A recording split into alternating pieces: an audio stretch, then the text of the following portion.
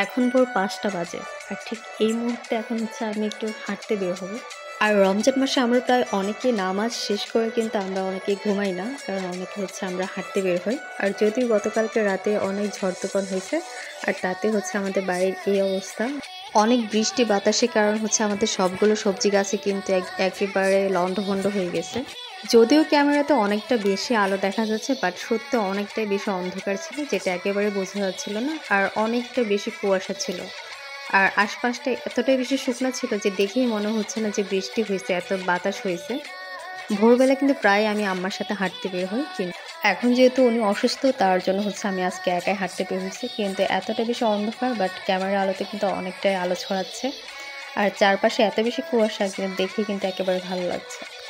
সবাই কিন্তু ফজরের নামাজ শেষ করে কিন্তু বাসায় চলে গেছে। আর তার জন্য কিন্তু রাস্তার আশেপাশে কোনো মানুষের কোনো দেখাই নাই।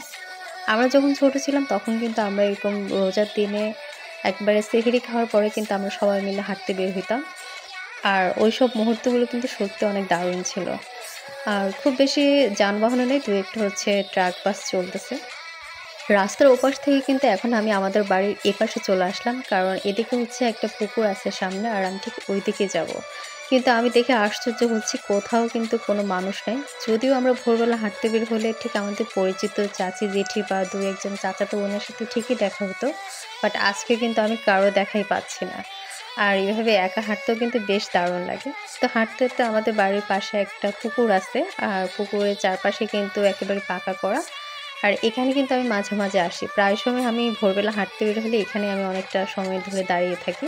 কেন জানি না, এই জায়গাটা আমার কাছে বেশ ভালো লাগে। তো যাই হোক, অনেকক্ষণ এখানে থাকার পর হচ্ছে এখন মনে হচ্ছে যে বাসায় চলে যাইতে হবে, যেহেতু আমাদের দরজাটা খোলা ছিল। ঠিক কিছুদিন আগে হচ্ছে আমি বেকিং আইটেমের কয়েকটা প্রোডাক্ট কিনি, আর এটা হচ্ছে একটা টার্ন টেবিল আসলে আমার কোনো ধারণাই ছিল না যে বেকিং আইটেমের জন্য এতগুলো প্রোডাক্টের দরকার হয়। যেমন তারপর একটা বিটার মেশিন, আর এখানে হচ্ছে একটা বোর্ড, তারপর একটা মোল্ড, তার সাথে একটা চালনি, আর এখন হচ্ছে হ্যান্ড মিক্সার এবং মেজারমেন্ট কাপ, সাথে কেক ফিনিশিং করার জন্য যা যা দরকার ছিল সব কিছু তো নেওয়া হয়েছে। আর এখানে বাকি ছিল ফস্টার, বেকিং সোডা, বেকিং পাউডার, সাথে ভিভো হুইপ ক্রিম, আর যেটা আমার সবচেয়ে বেশি পছন্দের। স্পেচুলা ব্রাশ সেট, আর সাথে পাইপিং ব্যাগ এবং নজল তো থাকছে। আর সাথে থাকছে যে এখানে প্যানেল এসেন্স আর দু একটা ফুড কালার।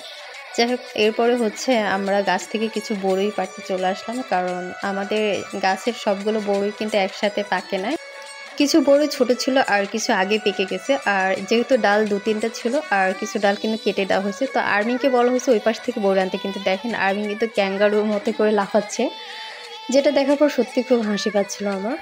কিন্তু একটা সমস্যা হচ্ছে আমাদের এই গাছের বড়গুলো চামড়া কিন্তু একেবারে পাতলা মানে উপর থেকে পড়ার সাথে সাথে কিন্তু ফেটে যায়, ঠিক যেমনটা এরকম। মানে কিছু কিছু বড়ি কিন্তু খাওয়ার মতো কোনো অবস্থায় থাকে না। তো যাই হোক, এখানে অনেকগুলো বড়ি ছিল আর সবগুলো একসাথে নিয়ে নেওয়া হবে। কারণ এই বছর আমি এমনিতেই হচ্ছে আলসেমি করে কোনো বড়ির আচারই দিই নাই। আর আজকে যতগুলো বড়ি পাড়া হচ্ছে, সবগুলো কিন্তু আমার আপু নিয়ে যাবে। আর আপু কিন্তু অনেকগুলো আচার দেবে, যেটা হচ্ছে আমি এবছর কোনো আচারই দিব না। কেন জানি না, আমার আজ- এবছর আচার দিতে ভালো লাগতেছে না। যদিও আমার আগের বছরের সবগুলো আচার এখনও আছে।